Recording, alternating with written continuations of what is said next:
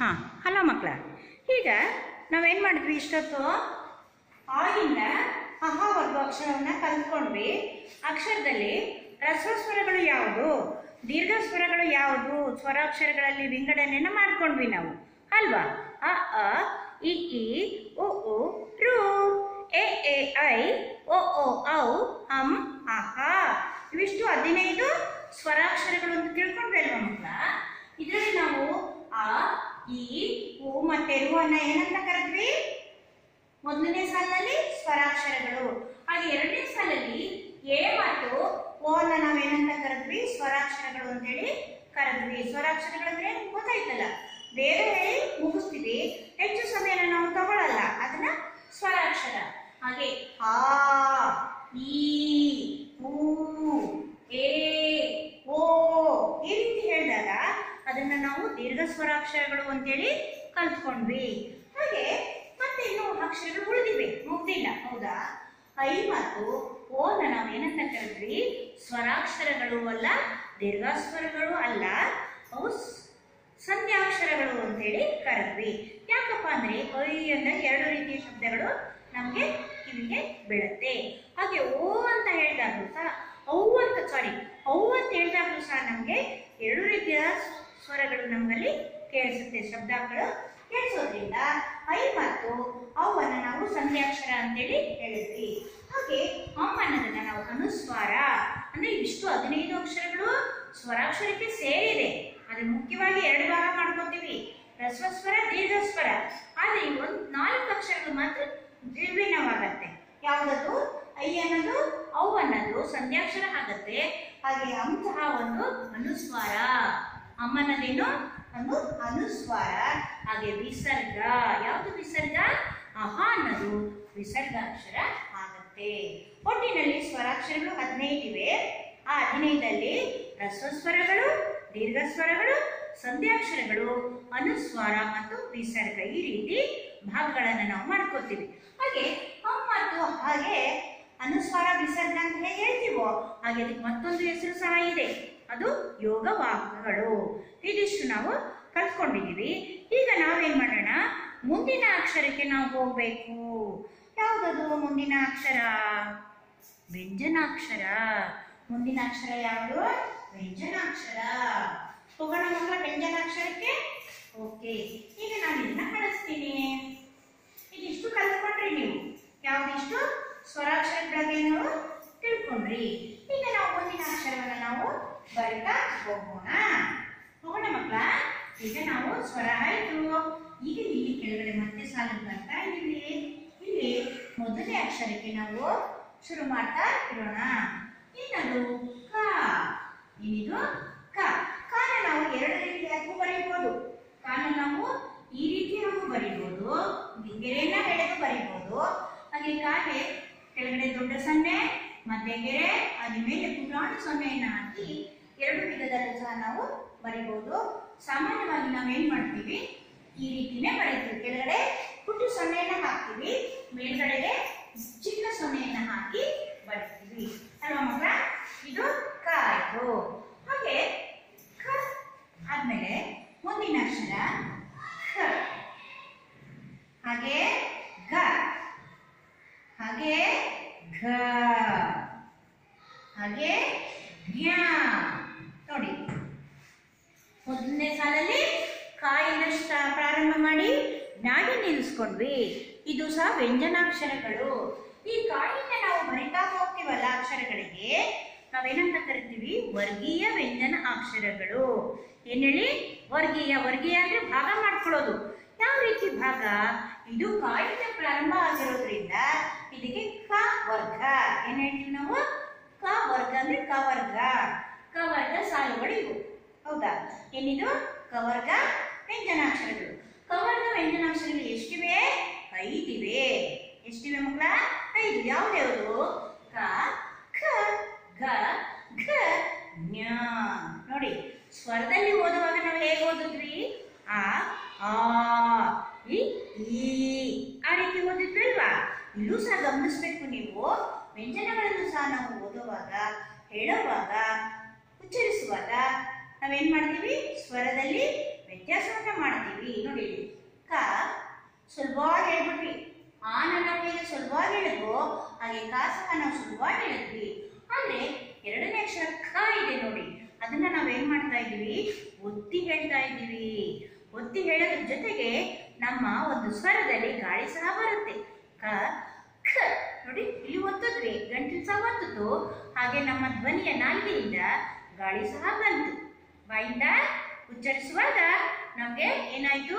ಒತ್ತಿ ಹೇಳಿದ ಗಾಳಿ ಸಹ ನಮಗೆ ಬಂತು. ಆದ್ರಿಂದ ಇದಕ್ಕೆ ಒಂದು ಸಹ ಹೆಸರಿದೆ ನೀನು ಕಾಣಲು ಅಲ್ಪ ಪ್ರಾಣ. ಕಾಣದೇನು? ಅಲ್ಪ ಪ್ರಾಣ. ಖ ಅನ್ನೋದು ಮಹಾಪ್ರಾಣ. ನೋಡಿ, ಕ ಸುಲಭವಾಗಿ ಹೇಳ್ಬಿಟ್ವಿ. ಅದರಿಂದ ಇದು ಅಲ್ಪ ಪ್ರಾಣ ಆಯಿತು. ಖ. ಒತ್ತಿ ಹೇಳೋದ್ರ ಜೊತೆ ಗಾಳಿ ಸಹ ಬರ್ಸಿದ್ವಿ. ಅದರಿಂದ ಅದು ಮಹಾಪ್ರಾಣ. ಗ ಅಲ್ಪ ಪ್ರಾಣ ಘ, ಮಹಾಪ್ರಾಣ. ಜ್ಞ ಅದನ್ನ ನಾವು ಮೂಗಿಂದ ಹೇಳ್ತಾ ಇದ್ದೀವಿ. ಆದ್ರಿಂದ ಮೂಗುಗೆ ನಾವು ಕನ್ನಡದಲ್ಲಿ ಮತ್ತೊಂದು ಹೆಸರಿದೆ ಏನಪ್ಪಾ ಅಂದ್ರೆ ನಾಸಿಕ. ಏನ್ ಹೇಳ್ತೀವಿ? ನಾಸಿಕ. ಹಾಗಾಗಿ ಅನುನಾಸಿಕ ಅಂತ ಹೇಳಿ ಹೇಳ್ತೀವಿ. ಯಾವುದನ್ನ? ಮೂಗಿನಿಂದ ಉಚ್ಚರಿಸುವುದನ್ನ ಅನುನಾಸಿಕ ಅಂತೇವಿ. ಸುಲಭವಾಗಿ ಹೇಳುವಂತ ಅಕ್ಷರನ ಅಲ್ಪ ಪ್ರಾಣಾಕ್ಷರಗಳು ಹಾಗೆ ಒತ್ತಿ ಹೇಳ್ತಾ ಗಾಳಿಯನ್ನ ಬಿಡ್ತೀವಿ. ಅದು ಮಹಾಪ್ರಾಣಾಕ್ಷರಗಳು. ಹಾಗೆ ಮೂಗಿನಿಂದ ಉಚ್ಚರಿಸುವ ಅಕ್ಷರಗಳಿಗೆ ಅನುನಾಸಿಕಗಳು ಅಂತೇಳಿ ಹೇಳ್ತೀವಿ. ಇದು ಕವರ್ಗ. ಮೊದಲನೇ ಸಾಲು ಬಂದು ಕವರ್ಗ. ಮೊದಲ ಕ. ಅಲ್ಪ ಪ್ರಾಣ ಖ ಮಹಾಪ್ರಾಣ ಗ ಅಲ್ಪ ಪ್ರಾಣ ಘ. ಮಹಾಪ್ರಾಣ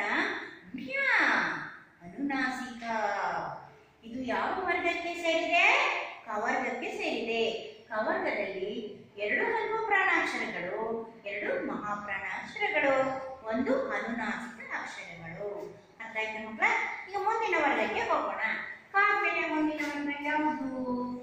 ಚ. ಯಾವುದು ಮಕ್ಕಳ? ಚ. ಚ ವರ್ಗ ಚ. ಚ ಅಲ್ವಾ ಮಕ್ಕಳ ಇದು? ಚ.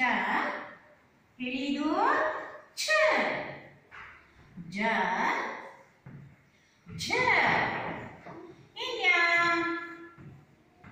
ಇನ್ಯ ಅಲ್ವಾ ಚ ಛ ಜ ಝ ಇನ್ಯ ಚ ವರ್ಗ ಚ ಅಲ್ಪ ಪ್ರಾಣ ಛ ಮಹಾಪ್ರಾಣ ಝ ಅಲ್ಪ ಪ್ರಾಣ ಝ ಮಹಾಪ್ರಾಣ ಇನ್ಯ ಅನುನಾಸಿಕ ಹೇಳಿ ಕ ಅಲ್ಪ ಪ್ರಾಣ ಖ ಮಹಾಪ್ರಾಣ ಘ ಅಲ್ಪ ಪ್ರಾಣ ಘ ಮಹಾಪ್ರಾಣ ಜ್ಞ ಅನುನಾಸಿಕ ಹಾಗೆ ಛ ಅಲ್ಪ ಪ್ರಾಣ ಛ ಮಹಾಪ್ರಾಣ ಜ ಅಲ್ಪ ಪ್ರಾಣ ಝ ಮಹಾಪ್ರಾಣ ಇನ್ಯ ಅನುನಾಸಿಕ ಕ ಚ ಮುಂದಿನ ಸಾಲು ಟ ಮುಂದಿನ ಸಾಲೇನು ಟ ಠ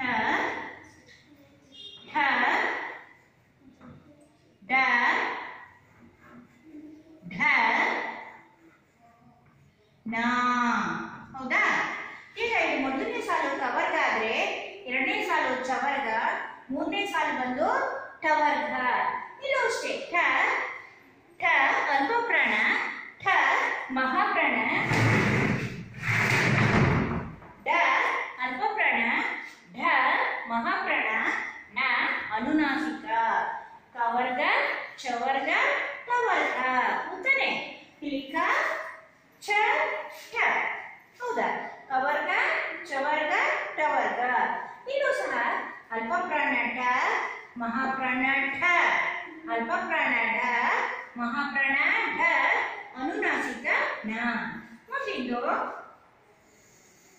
ಮುಂದಿನ್ನು ಕ, ಚ, ಟ ತ ಏನ್ ಹೇಳಿ ತ ತ ಥ ದ ಧ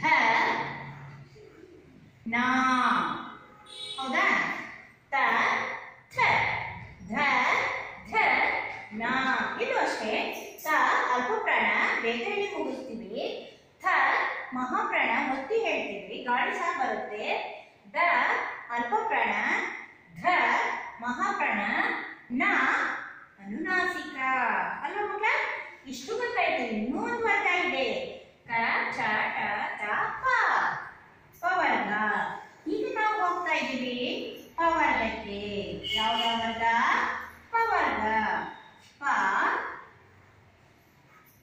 ಹ ಬ ಘ ಮಾ. ಏನ್ ಮಾಡಿದ್ವಿ ಮಾ. ಪ ಅಲ್ಪ ಪ್ರಾಣ ಹ, ಮಹಾಪ್ರಾಣ. ಹ ಅಲ್ಪ ಪ್ರಾಣ ಭ ಮಹಾಪ್ರಾಣ. ಮ, ಅನುನಾಸಿಕ. ಇದಿಷ್ಟು ನಾವು ಏನಂತ ಕರಿತೀವಿ? ಕಾಯಿಂದ ಮಾವರೆಗೂ. ನೋಡಿ ಆಯಿಂದ ಅಹವರೆಗೂ ಹದಿನೈದು ಅಕ್ಷರ ಆದ್ರೆ, ಹದಿನೈದು ಅಕ್ಷರಗಳಾದ್ರೆ ಕಾಯಿಂದ ಮಾವರೆಗೂ ನೋಡಿ ಒಂದು ಸಾಲಲ್ಲಿ ಐದು ಅಂದರೆ ಐದು ಒಂದು ಐದು ಐದೆರಡು ಹತ್ತು, ಐದು ಮೂರು ಹದಿನೈದು ಐದ್ನಾಲ್ಕು ಇಪ್ಪತ್ತು ಐದರಿಂದ ಇಪ್ಪತ್ತೈದು. ಸುಲಭವಾಗಿ ಎಣಿಸ್ಕೊಳ್ಬೋದು. ಇಪ್ಪತ್ತೈದು ಅಕ್ಷರಗಳು ನಿಮ್ಗೆ ಕಷ್ಟ ಆದರೆ ಒಂದು, ಎರಡು, ಮೂರು, ನಾಲ್ಕು, ಐದು, ಆರು, ಏಳು, ಎಂಟು, ಒಂಬತ್ತು, ಹತ್ತು, ಹನ್ನೊಂದು, ಹನ್ನೆರಡು, ಹದಿಮೂರು, ಹದಿನಾಲ್ಕು, ಹದಿನೈದು, ಹದಿನಾರು, ಹದಿನೇಳು, ಹದಿನೆಂಟು, ಹತ್ತೊಂಬತ್ತು, ಇಪ್ಪತ್ತು, ಇಪ್ಪತ್ತೊಂದು, ಇಪ್ಪತ್ತೆರಡು, ಇಪ್ಪತ್ಮೂರು, ಇಪ್ಪತ್ನಾಲ್ಕು, ಇಪ್ಪತ್ತೈದು. ಈ ರೀತಿ ಕಾಯಿಂದ ಮಾವರು ಒಟ್ಟು ಎಷ್ಟು ಅಕ್ಷರಗಳಿವೆ? ಇಪ್ಪತ್ತೈದು ಅಕ್ಷರಗಳಿವೆ ಈ ಇಪ್ಪತ್ತೈದು ಅಕ್ಷರಗಳನ್ನ ನಾವು ಏನಂತ ಕರಿತೀವಿ? ವ್ಯಂಜನಾಕ್ಷರಗಳು ಏನಂತ ಮಗ ವ್ಯಂಜನ ಅಕ್ಷರಗಳು. ವ್ಯಂಜನಾಕ್ಷರಗಳು ಅಂತೇಳಿ ಕರಿತೀವಿ. ಎಷ್ಟಿವೆ ವ್ಯಂಜನಾಕ್ಷರಗಳು ವ್ಯಂಜನಾಕ್ಷರಗಳು ಎಷ್ಟಿವೆ? ಇಪ್ಪತ್ತೈದು. ಎಂತ ವ್ಯಂಜನಾಕ್ಷರಗಳು ವರ್ಗೀಯ ವ್ಯಂಜನಾಕ್ಷರಗಳು ಮೇನ್ ಆಗಿ ವರ್ಗೀಯ. ಅಂತ ಹೇಳಿ ಕರಿತೀವಿ ನಾವು ಇದಕ್ಕೆ. ಯಾಕೆಂದ್ರೆ ಇದನ್ನ ನಾವು ವರ್ಗ ಮಾಡ್ಕೊಂಡಿದ್ದೀವಿ. ಐದೈದು ಅಕ್ಷರಕ್ಕೆ ಒಂದೊಂದು ಗುಂಪು ಮಾಡಿದ್ದೀವಿ. ಐದೈದು ಅಕ್ಷರಕ್ಕೆ ಗುಂಪನ್ನೇ ನಾವು ಏನಂತ ಕರಿತಾ ಇದ್ದೀವಿ? ವರ್ಗ ಅಂತ ಕರಿತೀವಿ. ಮೊದಲನೇದು ಕವರ್ಗ, ಎರಡನೇದು ಚವರ್ಗ, ಮೂರನೇದು ತವರ್ಗ, ನಾಲ್ಕನೇದು ತವರ್ಗ, ಐದನೇದು ಪವರ್ಗ. ಅದನ್ನ ನಾವು ಸ್ವಲ್ಪ ಮೆಮೊರಿನಲ್ಲಿ ಇಟ್ಕೋಬೇಕು, ನೆನಪಿನಲ್ಲಿ ಇಟ್ಕೋಬೇಕು ಅಂದ್ರೆ ಕ ಚ ಟ ಪ. ಈ ಐದು ವರ್ಗಗಳನ್ನ ಮಾಡ್ಕೊಂಡ್ವಿ ಈ ಐದು ವರ್ಗಗಳಲ್ಲಿ ಇರುವಂತಹ ಅಕ್ಷರಗಳನ್ನ ನಾವೇನಂತ ಕರಿತೀವಿ? ವರ್ಗೀಯ ವ್ಯಂಜನ ಅಕ್ಷರಗಳು. ಏನಂತ ಕರಿತೀವಿ? ವರ್ಗೀಯ ವ್ಯಂಜನ ಅಕ್ಷರಗಳು. ಹೌದಾ? ಈ ವರ್ಗೀಯ ವ್ಯಂಜನ ಅಕ್ಷರದಲ್ಲೂ ನಾವು ಏನ್ ಮಾಡ್ಕೊಂಡ್ವಿ? ಸ್ವರಾಕ್ಷರದಲ್ಲಿ ಹೇಗೆ? ಹ್ರಸ್ವಸ್ವರ ದೀರ್ಘಸ್ವರ, ಸಂಧ್ಯಾಕ್ಷರ, ಅನುಸ್ವರ, ವಿಸರ್ಗ ಹೇಗೆ ವಿಂಗಡಿಸ್ಕೊಂಡ್ವೋ ಹಾಗೆ ಇಲ್ಲೂ ಸಹ ನಾವು ಮೂರು ಭಾಗವಾಗಿ ವಿಂಗಡಿಸ್ಕೊತೀವಿ. ಹೌದಪ್ಪ ಅಂದ್ರೆ? ಕ ಚ ಡ ತ ಪ ಇದೊಂದು ಭಾಗ ಹಾಗೆ ಗ ಜ ಡ ದ ಬ. ಇದು ಒಂದು ಇದನ್ನ ಇದಿಷ್ಟನ್ನ ನಾವೇನ್ ಮಾಡಿದ್ವಿ? ಈ ಒಂದನ್ನ ಈ ಒಂದನ್ನ ನಾವೇನಂತ ಕರೆದ್ವಿ ಕ, ಗ, ಚ ಚ, ಟ, ಡ. ನೋಡಿ, ಕ, ಗ, ಚ, ಜ, ಟ, ಡ, ತ, ಡ, ಪ ವ ಇದನ್ನು ನಾವು ಸುಲಭವಾಗಿ ಹೇಳ್ಬಿಟ್ವಿ. ಹೌದಾ? ಸುಲಭವಾಗಿ ನಾಲ್ಗೆಗೇನು ಶ್ರಮ ಕೊಡದೆ. ಹೇಳಿದ್ವಿ. ಆದ್ರಿಂದ ಇವು ಅಲ್ಪ ಪ್ರಾಣ ಹೇಳೋದಕ್ಕೆ ನಮ್ಗೇನು ಕಷ್ಟ ಆಗಲಿಲ್ಲ. ಆದ್ರಿಂದ ಇವು ಎಂಟ ಅಕ್ಷರಗಳು. ಅವರ್ಗೀಯ ವ್ಯಂಜನದಲ್ಲಿ ಇಪ್ಪತ್ತೈದು ಅಕ್ಷರಗಳಿದೆ ಈ ಇಪ್ಪತ್ತೈದು ವರ್ಷ ಅಕ್ಷರಗಳಲ್ಲಿ, ವರ್ಗೀಯ ವ್ಯಂಜನದಲ್ಲಿ ಅಲ್ಪ ಪ್ರಾಣ ಅಕ್ಷರಗಳು. ಹೌದಾ? ಇವಾಗ ರೇಟ್ ಗುರುತು ಹಾಕಿದೆ ನೋಡಿ. ಅದಷ್ಟವೇ ಅಲ್ಪ ಪ್ರಾಣ ಅಕ್ಷರಗಳು. ಎಷ್ಟಿವೆ ಅವು ಸಹ ಒಂದು, ಎರಡು, ಮೂರು, ನಾಲ್ಕು, ಐದು, ಆರು, ಏಳು, ಎಂಟು, ಒಂಬತ್ತು, ಹತ್ತು. ಅಲ್ಪ ಪ್ರಾಣ ಅಕ್ಷರಗಳು ಸಹ ಹತ್ತಿವೆ. ಎಷ್ಟಿವೆ? ಹತ್ತು. ಇನ್ನು ಖ ಛ. ಛ ಠ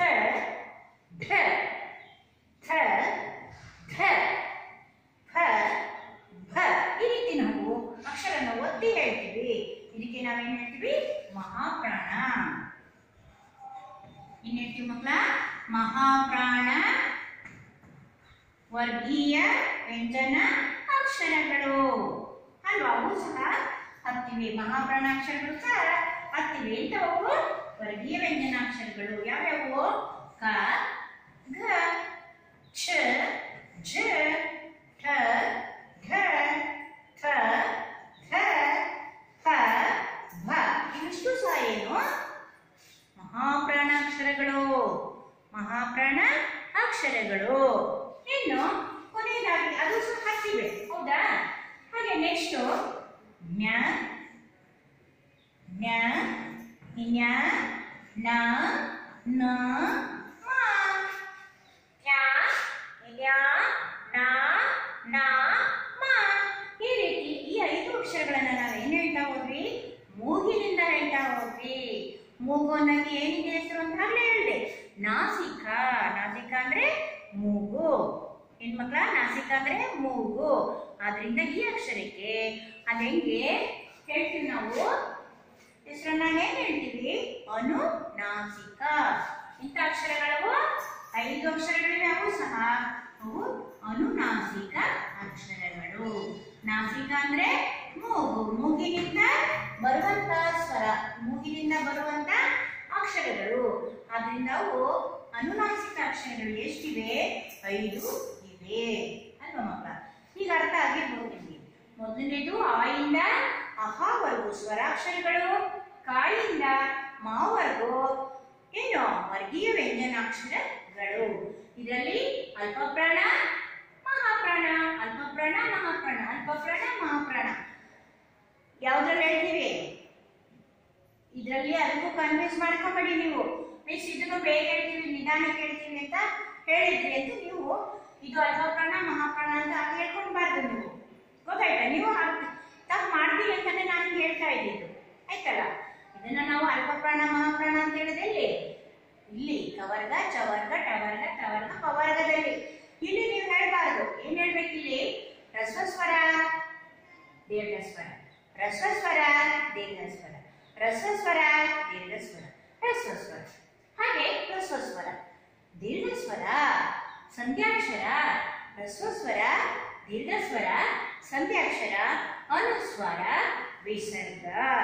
ಹೌದಾ ಮಕ್ಕಳ? ಈ ಎರಡಕ್ಕೆ ಮತ್ತೆ ಯೋಗ ವಾಹಕಗಳು ಅಂತ ಹೆಸರು ಇದೆ. ಹಾಗೆ ಇದಿಷ್ಟು ಸ್ವರ ಆಯ್ತು. ಮತ್ತೆ ಕಾಳಿನ ಮಾವರ್ಗು ಬಂದ್ವಿ. ಅದು ವರ್ಗೀಯ ವ್ಯಂಜನಾಕ್ಷರಗಳು. ಎಷ್ಟು ವರ್ಗಗಳಿವೆ ಐದು ವರ್ಗ. ಕವರ್ಗ ಒಂದು, ಚವರ್ಗ ಒಂದು, ಟವರ್ಗ ಒಂದು, ತವರ್ಗ ಒಂದು, ಪವರ್ಗ ಒಂದು. ಒಟ್ಟು ಐದು ವರ್ಗಗಳಿವೆ ಐದು ಗುಂಪುಗಳಿವೆ. ವರ್ಗ ಅಂದ್ರೇನು ಗುಂಪು. ಅಲ್ಲಿ ಕಾಯಿನ ಮಾವು ಇಪ್ಪತ್ತೈದು ಅಕ್ಷರಗಳಿವೆ ಅವನ್ ಮತ್ತೆ ನಾವೇನ್ ಮಾಡಿದ್ವಿ? ಮೂರ್ ಭಾಗ ಮಾಡ್ಕೊಂಡ್ವಿ. ಯಾವ್ದನ್ನ ಸುಲಭವಾಗಿ ಹೇಳ್ತೀವೋ ಅದನ್ನ ಅಲ್ಪಪ್ರಾಣ ಅಂದ್ವಿ. ಯಾವ್ದನ್ನ ಒತ್ತಿ ಬಾಯಿಂದ ಗಾಳಿಯಿಂದ ಬರುತ್ತೀವೋ ಅದು ಮಹಾಪ್ರಾಣ ಅಕ್ಷರಗಳು ಅಂತ ಹೇಳಿದ್ವಿ. ಹಾಗೆ ಮೂಗಿನಿಂದ ಉಚ್ಚರಿಸುವಂತ ಅಕ್ಷರಗಳಿಗೆ ಅನುನಾಸನಗಳು ಅಂತ ಹೇಳಿ ಹೇಳಿದ್ವಿ. ಅರ್ಥ ಆಯ್ತಾ ಈಗ ಇದು ವರ್ಗೀಯ ವ್ಯಂಜನ ಅಕ್ಷರಗಳಲ್ಲಿ ಅಲ್ಪಪ್ರಾಣ, ಮಹಾಪ್ರಾಣ, ಅನುನಾಸಿಕ ತಿಳ್ಕೊಂಡ್ರಿ. ಇನ್ನು ಕೊನೆಯದಾಗಿ ಉಳಿದಿರೋದು ಯಾವುದು? ಯಾವುದೇ ಒಂದು ವರ್ಗಕ್ಕೆ ಸೇರಿಲ್ಲ ಕವರ್ಗ, ಚವರ್ಗ ಕವರ್ಗ ಟವರ್ಗ ಪವರ್ಗ ಅಂತ ಯಾವುದೂ ಸೇರಿಲ್ಲ. ಮತ್ತೆ ಅದನ್ನ ನಾವೇನಂತ ಕರಿತೀವಿ? ಯಾವುದೇ ಒಂದು ವರ್ಗ ಮಾಡ್ಕೊಂಡಿಲ್ಲ ಅದನ್ನ. ಗುಂಪುಗಳನ್ನಾಗಿ ಮಾಡ್ಕೊಂಡಿಲ್ಲ. ಸುಮ್ಮನೆ ಬಿಟ್ಬಿಟ್ಟಿದ್ದೀವಿ. ಆ ಆ ಒಂದು ಅಕ್ಷರಗಳಿಗೆ ನಾವು ಅವರ್ಗೀಯ ವ್ಯಂಜನ ಅಕ್ಷರಗಳು ಅಂತೇಳಿ ಹೇಳ್ತೀವಿ. ಅವು ಸಹ ವ್ಯಂಜನನೇ, ಅದೇ ವರ್ಗ ಇಲ್ಲದೆ ಇರೋದ್ರಿಂದ ಅವರ್ಗೀಯ ಅಂತ ಹೇಳಿ ಹೇಳ್ತೀವಿ. ಯ, ಅವರ್ಗೀಯ ವ್ಯಂಜನ, ರ, ಅವರ್ಗೀಯ ವ್ಯಂಜನ. ಈಗ ನಾನು ಲೈನ್ ಹಾಕ್ತಾ ಇಲ್ಲ ಯಾಕೆಂದ್ರೆ ಸ್ಥಳ ಕಡಿಮೆ ಇದೆ ಹಾಗಾಗಿ. ಹಾಗೆ ವಾ, ಅವರ್ಗೀಯ ವ್ಯಂಜನಾಕ್ಷರ ಶ ಕೆಲವರು ಶೇ ಅಂತ ಹೇಳ್ತೀರಾ? ಶೇ ಅಂತ ಹೇಳೋದು ತಪ್ಪು ಮಕ್ಕಳ, ಶೇ ಅಂದ್ರೆ ಇದು. ಶೇಷ ಸಾಹಾಳ ಅಂತ ಹೇಳ್ತೀರ? ಅದು ತಪ್ಪು ಶೇ ಅಂತ ಹೇಳ್ಬಾರ್ದು ಶ ಅಂತಾನೆ ಹೇಳ್ಬೇಕು. ಅರ್ಥ ಆಯ್ತಾ ಮಕ್ಕಳ? ಶ ಶ. ಇದನ್ನ ಸ್ವಲ್ಪ ಹೇಗೆ ಮಹಾಪ್ರಾಣದಲ್ಲಿ ಹೇಗೆ ನಮಗೆ ಗಾಳಿ ಬರುತ್ತೋ ಆ ರೀತಿ ಈ ಒಂದು ಅಕ್ಷರಕ್ಕೂ ಸಹ ಬರುತ್ತೆ. ಶ ಶ ಶ. ಸ, ಹ. ಇಲ್ಲೂ ಅಷ್ಟೇ. ಅಂತ ಗಾಳಿ ಬರಬೇಕು. ಗಾಳಿ ಬರದೆ ಹೋದ್ರೆ ಅದು ಸ್ವರಾಕ್ಷರ ಆಗತ್ತೆ. ಗಾಳಿ ಬಂದ್ರೆ ಅದೇನಾಗತ್ತೆ? ವ್ಯಂಜನಾಕ್ಷರ ಆಗತ್ತೆ. ಯಾವ ವ್ಯಂಜನ? ಅವರ್ಗೀಯ ವ್ಯಂಜನಾಕ್ಷರ ಆಗತ್ತೆ ಅದರಿಂದ ಹ ಹ, ನೋಡಿ, ಹ ಅಲ್ವಾ? ಹ ಬಂತಲ್ವಾ ಗಾಳಿ ಅದು. ಸ ಲ. ನೋಡಿ, ಇದು ಲ ಇದು ಲ. ಎರಡಕ್ಕೂ ಒಂದೇ ಉಪಯೋಗಿಸಬಾರ್ದು ನೀವು. ಲ, ನಾಲ್ಗೆ ನೋಡಿ, ಲ, ಇದು ಳ. ನಾಲ್ಗೆ ಮಡ್ಚ್ಕೊಳ್ಳುತ್ತೆ ಲ ನಾಲ್ಗೆ ಅಲ್ಲಿಗೆ ಟಚ್ ಆಗುತ್ತೆ. ಳ ಅನ್ನದ ನಾಲ್ಗೆ ಮಡಚ್ಕೊಡುತ್ತೆ ಯಾ, ರ, ಲ ವ, ಶ ಶ ಸ ಹ ಳ ಗೊತ್ತಾಯ್ತು ಮಕ್ಕಳ? ನೀವೇ ಗೊತ್ತೀರಾ? ಯ ರ ಲ, ವ ಶೇಷ ಸ, ಳ. ಇಲ್ಲೂ ವ್ಯತ್ಯಾಸ ಇಲ್ಲ, ಇಲ್ಲೂ ವ್ಯತ್ಯಾಸ ಇಲ್ಲ, ಇಲ್ಲೂ ವ್ಯತ್ಯಾಸ ಇಲ್ಲ. ಹೀಗೆ? ನೀವು ಓದೋದು? ಯಾರ ಲಾವ ಶ ಶ, ಸ ಶೇಷ ಸಾ ಹಾಳ ಇಲ್ಲಿ ಹ ಅಂತಾನೆ ಹೇಳ್ತೀರ ಹಾ ಅಂತ ಹೇಳ್ಬಾರ್ದು. ಹ ಅಂತಾನೆ ಹೇಳ್ಬೇಕು. ಇವು ಯಾರ ನೋಡಿ, ನಾನು ಮತ್ತೊಮ್ಮೆ ಓದ್ತೀನಿ. ಯ ರ, ಲ, ವ ಶ ಶ ಸ, ಹ, ಳ. ಗೊತ್ತಾಯ್ತು ಮಕ್ಕಳ? ಈ ರೀತಿ ನಾವು ಅಕ್ಷರವನ್ನ ಹೇಳಬೇಕು.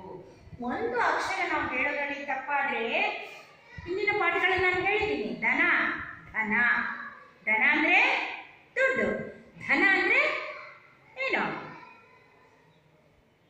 ದನ ಅಂದ್ರೆ ಹಸು, ಎಮ್ಮೆ, ಕೆರೆ, ಕರೆ ಹಸು, ಎಮ್ಮೆ, ಪಶುಗಳನ್ನೆಲ್ಲ ನಾವು ದನಗಳು ಅಂತ ಹೇಳ್ತೀವಿ. ಧನ ಅಂದ್ರೆ ದುಡ್ಡು, ಅಲ್ವಾ? ಉತ್ತನೆ.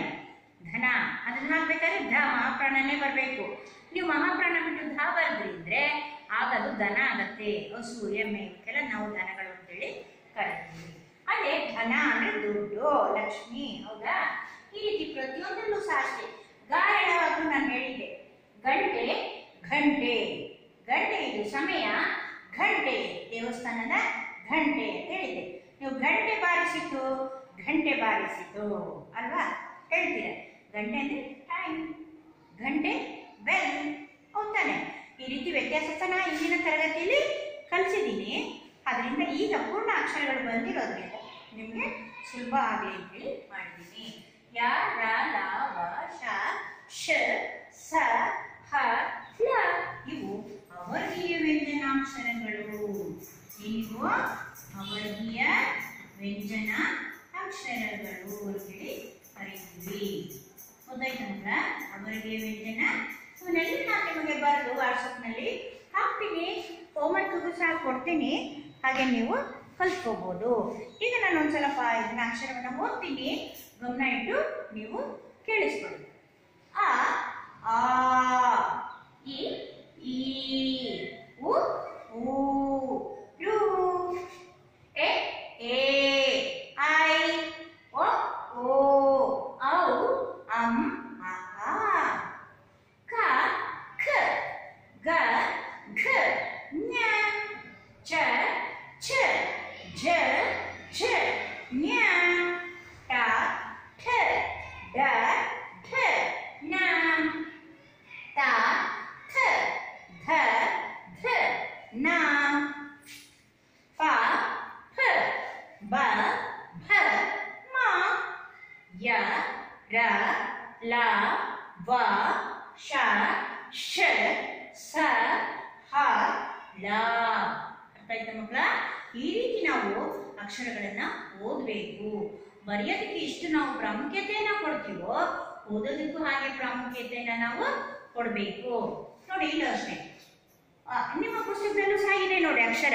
ಪೇಜ್ ನಂಬರು ಎಂಬತ್ತ ನಾಲ್ಕರಲ್ಲಿ ನಿಮ್ಮ ಪುಸ್ತಕದಲ್ಲಿ ಇದೆ. ಹೌದಾ? ಹಿಂದಿಂದೆಲ್ಲ ನೀವು ಕಲ್ತ್ಬಿಡ್ರಿ.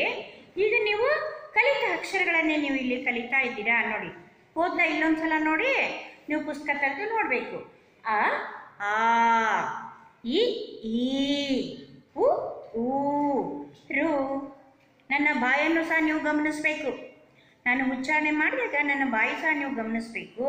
ಕಿವಿಯನ್ನು ಸಹ ನೆಟ್ಟಿಟ್ಕೊಂಡು ಸ್ವರವನ್ನು ಕೇಳಿಸ್ಬೇಕು ಆ ಆ ಇ ಈ, ಉ, ಊ, ರು, ಎ ಏ ಐ ಓ ಓ, ಔ, ಅಂ, ಅಹ, ಕ, ಖ, ಗ, ಘ ಜ್ಞ ಚ, ಛ.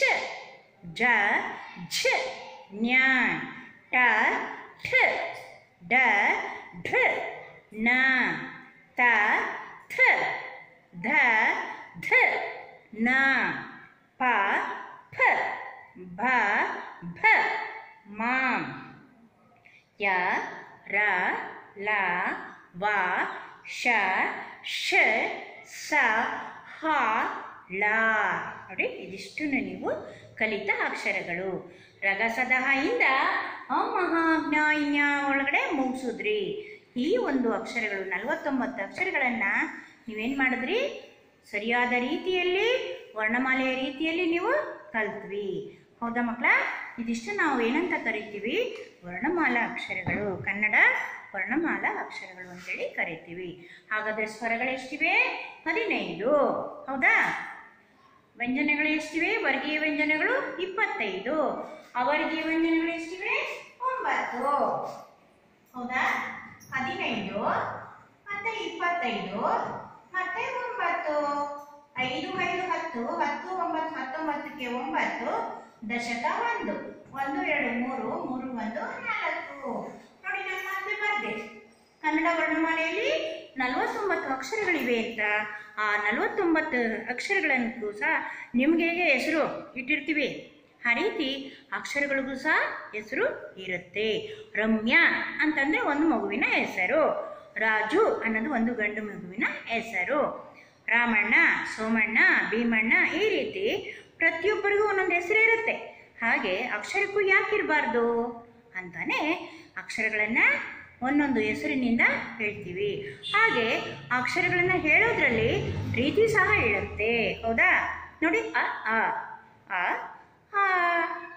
ನೋಡಿ, ಕ, ಖ, ನ್ಯಾ. ಈ ರೀತಿ ನೋಡಿ ವ್ಯತ್ಯಾಸ ಹೇಗೆ ಕಾಣಿಸ್ತು ನಮಗೆ? ಅಲ್ವಾ? ಈ ರೀತಿ ಅಕ್ಷರಗಳನ್ನು ನಾವು ರಚನೆ ಆಗಿದೆ. ಈ ನಲವತ್ತೊಂಬತ್ತು ಅಕ್ಷರಗಳು ನಮ್ಮ ಕನ್ನಡ ವರ್ಣಮಾಲೆಯ ಅಕ್ಷರಗಳು. ಈ ಅಕ್ಷರಗಳನ್ನು ನೀವು ಚೆನ್ನಾಗಿ ಕಲಿತ್ರೆ ಮುಂದೆ ನಿಮಗೆ ಎಲ್ಲ ಅಕ್ಷರ ಗುರ್ಸೋದಕ್ಕೆ ಬರುತ್ತೆ. ಇನ್ನಷ್ಟು ಪದಗಳ ಹೆಚ್ಚು ರೀತಿಯಲ್ಲಿ ನೀವು ಮಾಡ್ಬೋದು. ಈಗಾಗಲೇ ಹತ್ತು ಹಂತಗಳಲ್ಲಿ ಸಾಕಷ್ಟು ಮಾಡಿದ್ದೀರಾ? ಈಗ ಇನ್ನಷ್ಟು ನೀವು ಹೆಚ್ಚು ಹೆಚ್ಚು ಪದಗಳ ರಚನೆಯನ್ನು ಮಾಡ್ಬೋದು.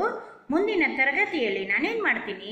ಈ ಒಂದು ಅಕ್ಷರಗಳಿಗೆ ಹೊತ್ತ ಅಕ್ಷರಗಳ ರಚನೆ ಹೇಗೆ ಮಾಡೋದು ಅಂತ ಹೇಳಿ ಕಲಿಸ್ಕೊಡ್ತೀನಿ. ಆಯ್ತಾ ಮಕ್ಕಳ? ಇಲ್ಲಿಗೆ ಈ ಪಾಠ ಅರ್ಥ ಆಗಿದೆ ಅನ್ಕೋತೀನಿ. ನಾನು ಇವಾಗ ಯಾವ ಯಾವ ಒಂದು ಬೋರ್ಡ್ ಮೇಲೆ ಬರೆದಿದ್ನೋ ಸ್ವರಗಳು, ಅಕ್ಷ, ರಸಸ್ವರ, ದೀರ್ಘಸ್ವರ, ವ್ಯಂಜನಗಳು, ಇವನ್ನೆಲ್ಲನೂ ನಿಮಗೆ ನೋಟ್ಬುಕ್ಕಲ್ಲಿ ಬರೆದು ಪುನಃ ನಿಮಗೆ ಕಳಿಸ್ತೀನಿ. ನೀವು ತಪ್ಪದೆ ಅದನ್ನು ಮಾಡಬೇಕು.